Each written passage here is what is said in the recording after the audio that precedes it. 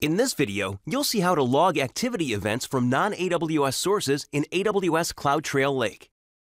With this capability, you can capture auditable events such as user and API activity from disparate sources across your environment, query events in the unified log, and centrally manage compliance controls of audit events from AWS, custom applications, and partner products.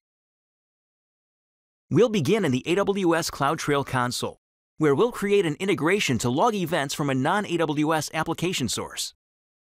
We can integrate CloudTrail Lake with an available partner application source or create a custom integration. There are two types of integrations, direct and solution. We'll create a custom solution integration where our sample application is running in a separate database account. Let's name the channel.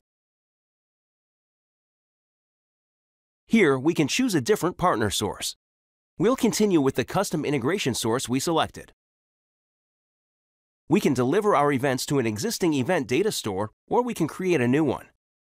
Let's create a new event data store. We'll leave the retention period as the default. The resource policy attached to the channel allows the source to transmit events through the channel. For this custom integration, we'll specify the AWS account that hosts our application and give it the necessary permissions.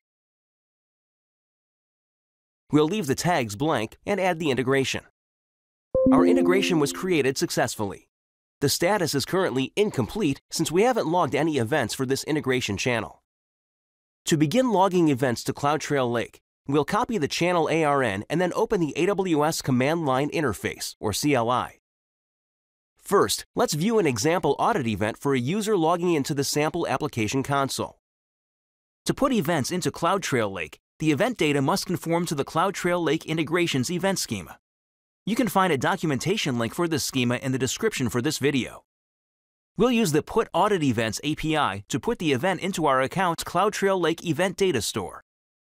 We'll specify the channel ARN we copied and the audit events we want to input into CloudTrail Lake our events were successfully ingested into the CloudTrail Lake channel.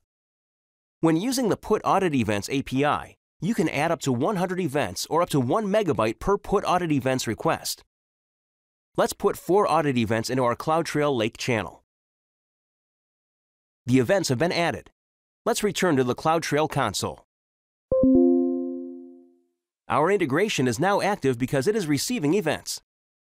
Next, let's see how to query events in CloudTrail Lake. In the Query Editor, we'll select the event data store we just created. Next, we'll query our sample application audit logs to see events related to a specific user's console login. The query returned two records. On the Query Results tab, we can see more details about the application's event logs. We can select the results and copy the data to our clipboard, or save the results to an Amazon S3 bucket.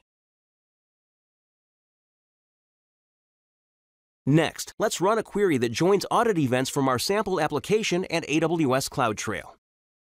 We'll filter the CloudTrail event data store to find console logins for a specified user, and join that event with our sample application event data.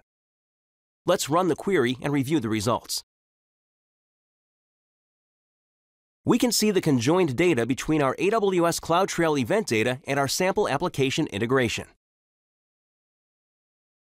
You've just seen how to log activity events from non-AWS sources in AWS CloudTrail Lake. You can learn more about this topic in the description and links for this video. Thanks for watching. Now it's your turn to try.